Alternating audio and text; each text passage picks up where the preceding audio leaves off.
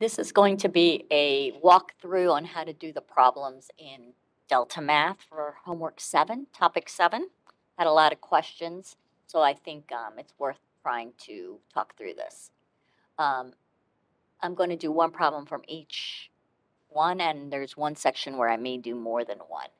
So the first problem in the first section says find the average rate of change from the equation.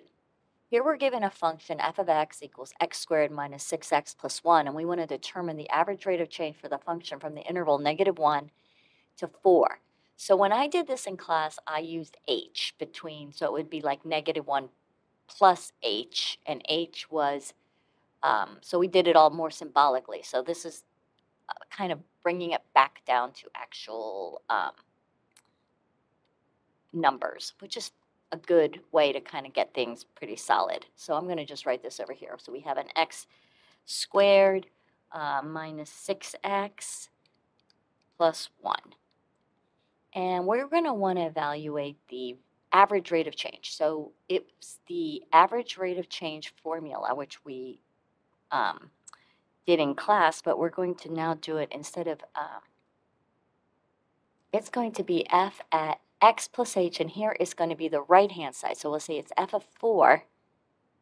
And actually, let me make this into a fraction. So f of 4, which is the, um, it's really, if x is negative 1, that's an h of 5. So we're going 5 to the right. f of 4 minus f of negative 1.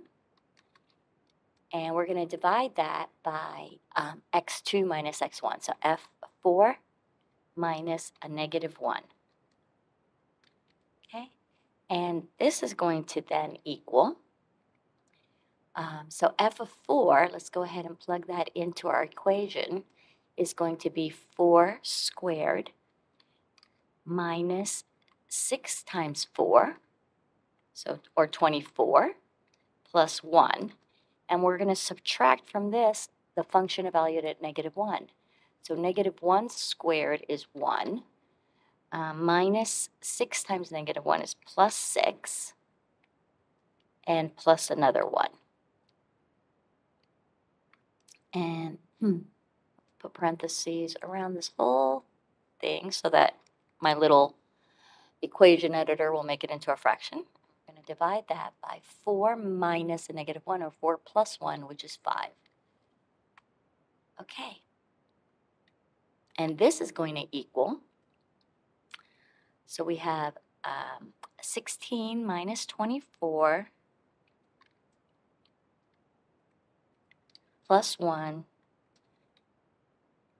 And we're going to subtract uh, 1 plus 6 plus 1, which is 8. So we're going to subtract 8 from this.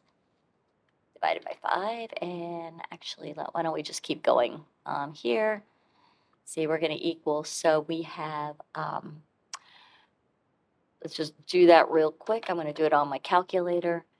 So it's 16 minus 24 plus 1 minus 8.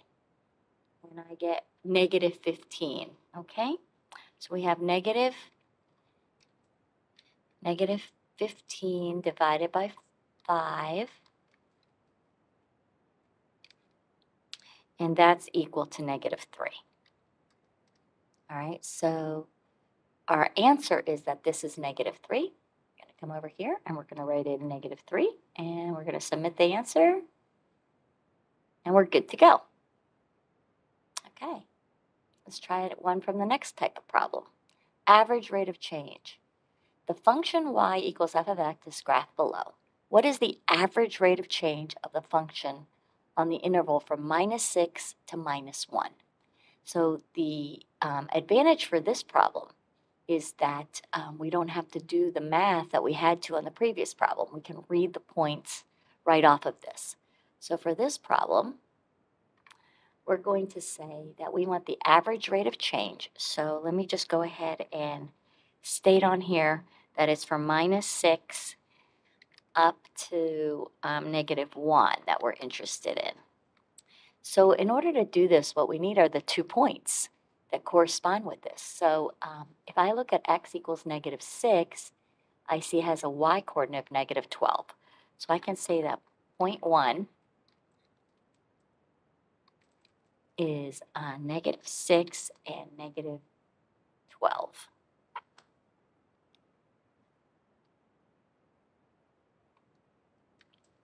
And that point 2, right, I get my points from each end and because I want the average over this interval, so I want to get the point at each end.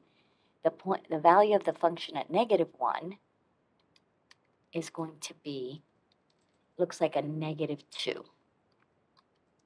right, so now that I have this, the average rate of change for this function between negative 6 and negative 1 is the slope of the line connecting those points. Um, and the slope of those that line, right? So the average rate of change. And I noticed that Delta Math calls it rate of change, like rock, okay, is going to be um, this um, y, sorry, y2 minus y1 divided by x2 minus x1, right? And so for us, this is going to be, let's go with the bottom point is the, the 2, right? So we got um, minus 2 minus a negative 12 divided by negative 1 minus a negative 6. And that's going to equal uh, minus 2 plus 12 divided by minus 1 plus 6. And that's going to equal 10 divided by 5, and that equals 2. All right, so our answer is that the average rate of change is going to be 2. So let's put that in. And we see that the secant line connecting those two points has been drawn in in green. And we see below this, the work that we just got done doing over here on the right. So we're good to go on that. So that's how you do those problems. For the average rate of change from a graph, where you draw the line um, type set of problems, for this, this one is showing a, a function below, and we're going to plot a line connecting the points from x equals 0 to x equals 1. So to do that, um, we're just going to click here, and then we're going to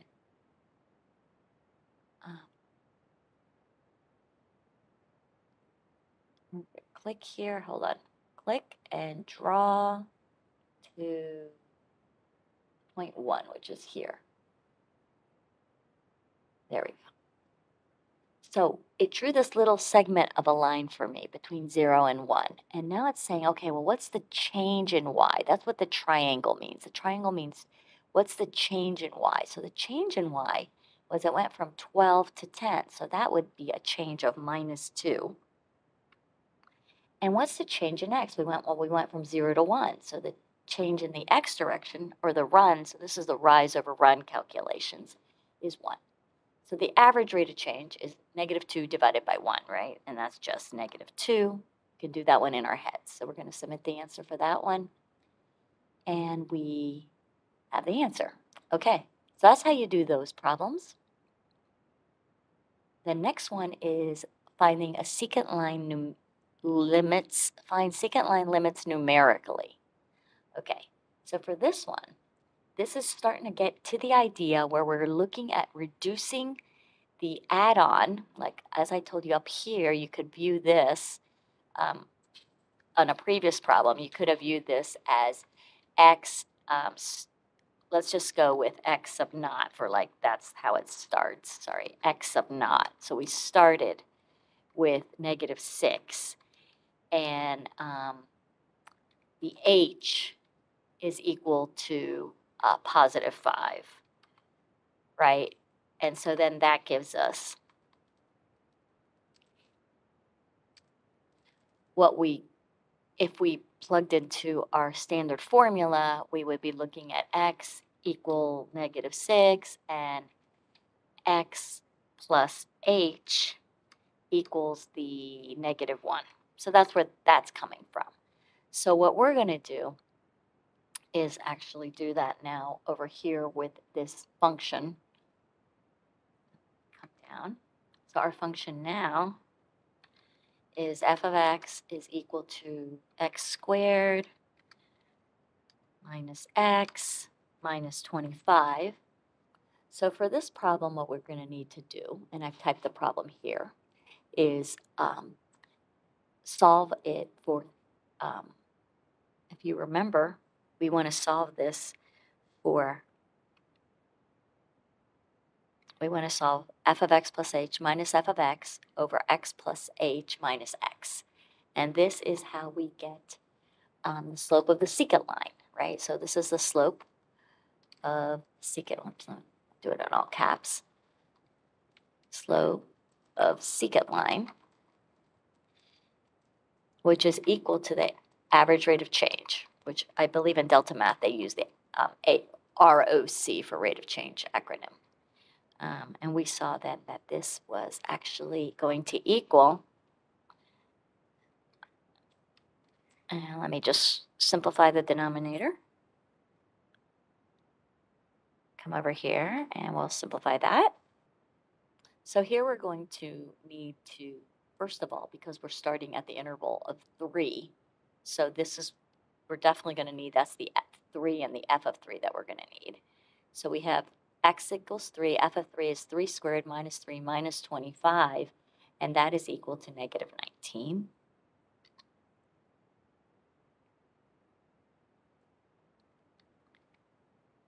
So when we start with h equals 1, get it lowercase, there we go, h equals 1, um, what that is means that x plus h, so x plus h is going to equal 3 plus 1, which is equal to 4. So then we're going to need f of 4. And so that's going to equal 4 squared minus 4 minus 25. And that's going to equal, let's put that in my calculator, and 4 squared minus 4 minus 25 is equal to negative 13. Okay, so now we have all the numbers that we need to build this um, value of the average rate of change, or you can also think of it as the slope of the secant line. Let's go ahead and put that in. So the average rate of change is going to be f of x plus 2, which is our negative 13. And we're going to subtract the negative 19. And then we're going to divide that by the h. And in this case, h is just 1. All right, so I'm referring right now, I'm looking at this equation right here and I'm remembering that's, that's the formula I'm following. Those are my instructions. So I got this.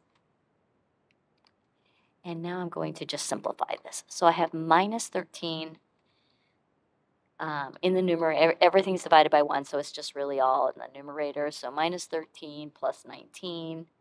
And what I get out of that is a positive 6. Okay, so that's the first answer in this box. I'm going to put in a 6. Now the next one um, is going to be, I'm going to follow this pattern now. And the idea is I'm, I want to see what the average rate of change is approaching as h gets smaller. Okay, so now what we're going to do is fill in the rest of the table um, using the same procedures. We just have to repeat them three more times. The difference is that the h is now getting smaller and smaller. So our value of the x plus h, so how far away we are from 3 on the x-axis, is getting closer and closer to 3. So for h of 0.1, we are going to, um, let me just set that up a little differently. There we go. Um, h of 0.1 gives us an x plus h of 3.1. And then we want to know the y coordinate that goes with that point, and it's um, 3.1 squared minus 3.1 minus 25, or negative 18.49. So the second point is this um, 3.1 comma negative 18.49. And this is the um, num this is the point that we're going to use to find the average rate of change between that point and this point up here, which was the x and y was 3 and negative 19. All right, and so we plug that into our average rate of change formula. So we put take the y2 minus y1, um, the negatives cancel, and we divide by 0.1. So we end up with a 5.1, and we're going to put that in our chart. Then we're going to repeat this again for 0.01. So now again, we're going to be even closer to 1 because we're going to be at 3.01. So that's how close we're getting to 3.01. We evaluate the function. We get a even a number that's even closer to negative 19, but we're a little bit below it, and you can, um, I'm sorry, we're a little bit above it. You can see we're going to be coming down on the curve heading towards that negative 19. We're not quite there. And at 0.01, we evaluate the average rate of change using these. This is our 0.2, so I could say 0.2 is, just to be clear, is this neg is 3.01 and this negative 18.9499. So that's the point we're using for y1, uh, x2, y2, along with this point, which is our x1, y1, right? So I could say, just to, in case you're still trying to put all the pieces together, go ahead and put this in here. This is our x1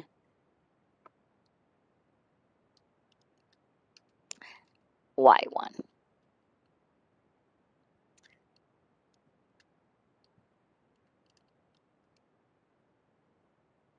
All right, and each one of these points along the way has have been our, a different x2, y2. So every time we're just picking a point closer and closer and closer and recalculating the average rate of change. So at 0 0.000, 0.001, we're at 3.01. That's going to be our x coordinate. And our y coordinate corresponding to that is now um, this number that's even closer to negative 19, right? So now we're, we're like really, really, really close. We're like right there. We're going to connect those two points with a line and find the slope of that line. It turns out to be 5.001. And so that would be the last number that we would want to enter into delta math into this table. And my um, delta math, I'm sorry, my word froze on me. So I had to stop and help a student in between, and now I lost that problem. So the next type of problem that we're going to look at is the same thing we just got done doing, except that we're going to just do it graphically. So um, here, I'm wondering if do I need to make this a little bigger? Oh yes, here we go. Sorry, I had to make my screen just a little bit bigger to see it. So we have this problem where we get to kind of play with the graph we have a yellow dot that's fixed, we can't move it, but we have a blue dot on the curve and we can move it along the curve up above. Um, it's going to automatically tell us how close the x coordinate of the point is. So it's telling us how close the x coordinate is to 4. So it's 4 plus 3.4 is where we're at. And um, if we have, and it and then it puts a dotted green line, which is the secant line, or some people call it the cotangent line. It's the line that connects two dots on a curve. And then over here, what um, delta math is doing for us is it's kind of um, going ahead and doing the secant slope calculation that we were doing over here by hand. So now you know what it's doing. It's putting these numbers in. So 4 plus 3.1 minus f of 4 over 3.1. What we don't know is the function definition. All we know is the curve for it, and that's okay. We're just trying to get a feel here for what happens as we move our blue dot closer and closer to the yellow dot. Our h value is getting smaller and smaller, and it's calculating every time we stop that blue dot, it's calculating the slope of that dashed orange line. So we see it's 1.30647 right now and we're supposed to go as close to as we can um, and then we can zoom in further. One thing that's important to understand and we um, it's important to understand like mathematically but it's not something we're going to encounter a whole lot in business applications but delta math is including the problems where the derivative doesn't exist. And one way that that you know the derivative doesn't exist is if you are approaching the blue dot is if the point is approaching from the other direction and it's approaching a different number on the slope. So right now this slope is looking like coming from below, the blue dot's coming below, it's like 1.17711. And um, I think that's as close as I can get in until I hit zoom in. And basically it's gonna allow me to zoom in now. Now between each of the numbers on the x-axis is 0.1. And now it's gonna allow me to get even closer so I can see that I'm approaching 1.1955648. And then if I go to the other side, I'm at 1.2 just above that. So I'm getting closer and closer here.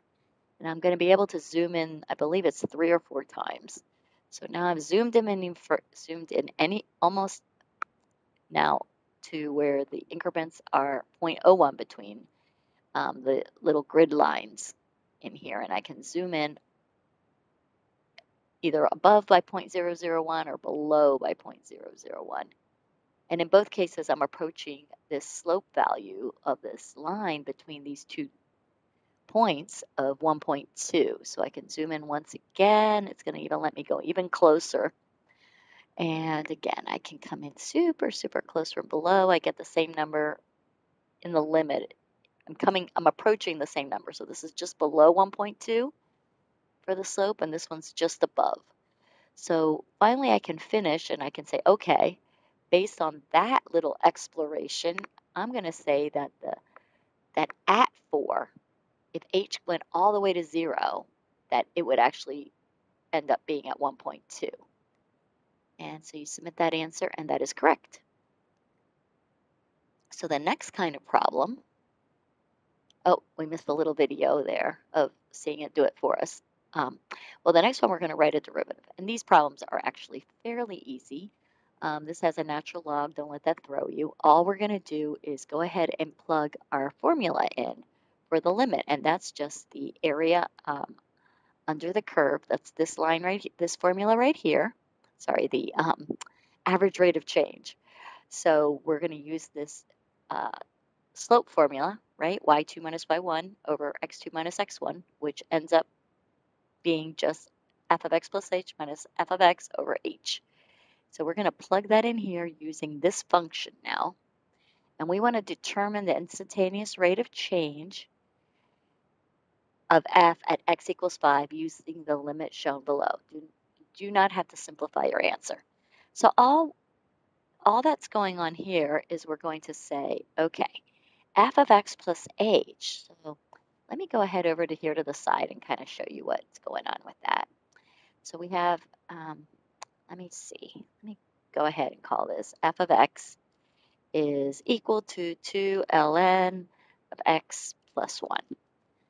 All right, and let me just give us a little space so we know we're in a whole new problem. Okay, so coming down here. So what we have to do to plug into that formula is get an f of x plus h okay? Um, and in this case, we're actually going to be talking about f of x plus 5 plus h.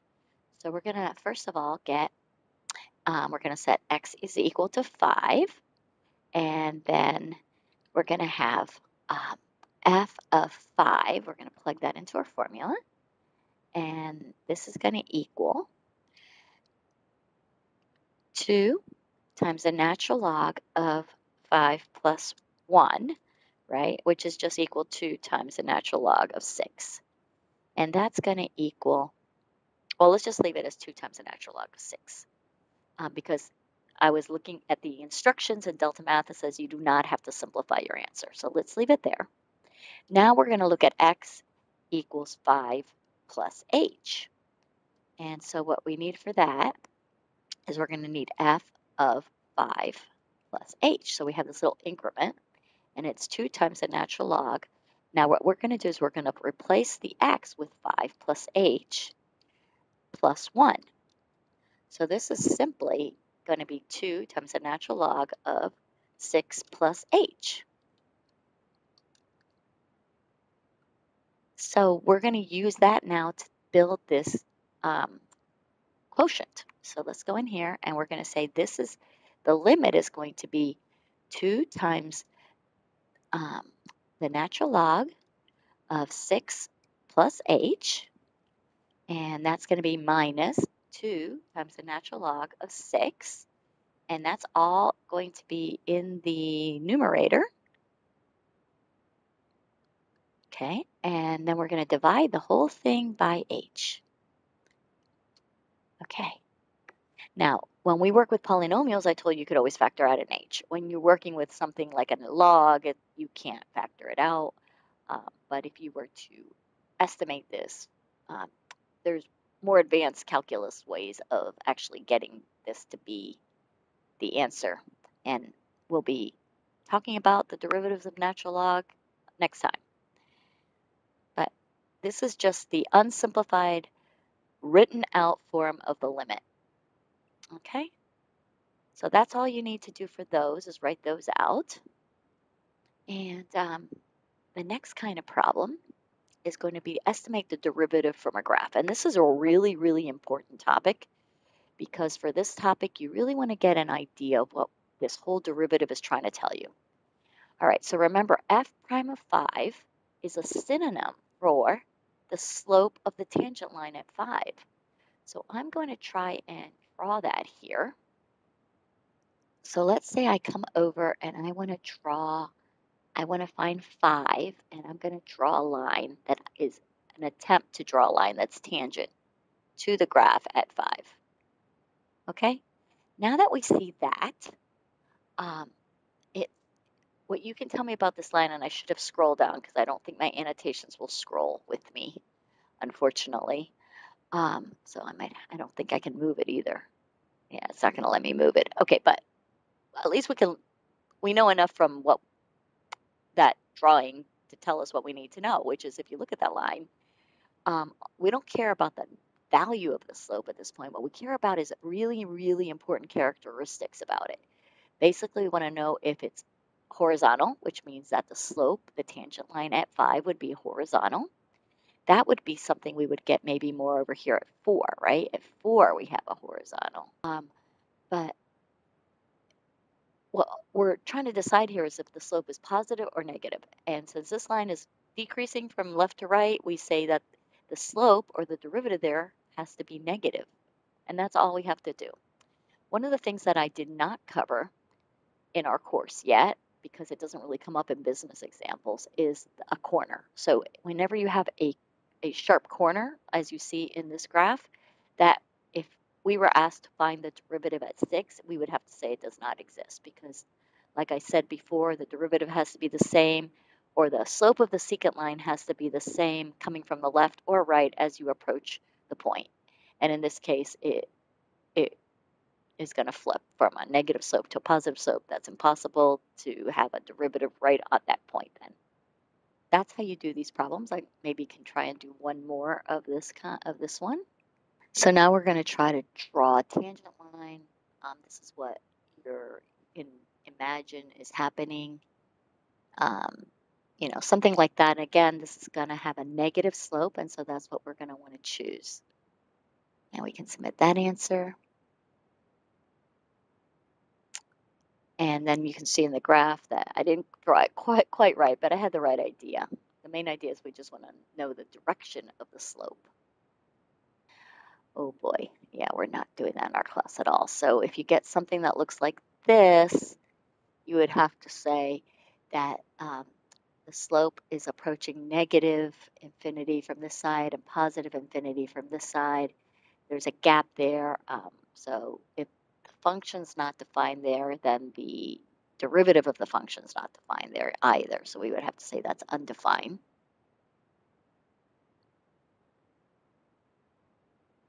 Okay, they wanted us to actually say there is no tangent line. Okay, sorry, in my mind that means the same thing. Okay, here's an example of one I want to show you um, where we're going to be talking about um, tangent line at negative 2. And this is something that we're going to be um, running into um, next week uh, when we cover this top, or it might be after spring break. But um, what I want to show you is that the tangent line here, I didn't know that they had these in these problems, but um, it's fine, you get exposure to it, is actually vertical. And if you are able, or if you're curious, kind of like what's another way to kind of know that or see that is that this is concave down here and this is concave, oops, this is concave up here. So when it switches from concave down, right, so this is like does not hold water and this holds water, it's going to go through a vertical, it's going to go through a point where you have a vertical axis. And um, what we know about um, when you have a vertical tangent line at that point, it's uh, the slope is undefined. So that's another kind that you might see. Another um, type of problem that you might see is a um, situation where like this is once it's slope of the tangent line at three. So let's go ahead and draw that in here. So this is concave down here and this is concave up here. And when it switches over from concave down to concave up, it's either going to have a vertical, a point where you have a vertical tangent, or in this case, a point where you're going to have a horizontal tangent. So right at 3 is where that point is, where we're switching from concave down to concave up. And when we cross over like that, that's actually a horizontal line, and that has a slope of 0.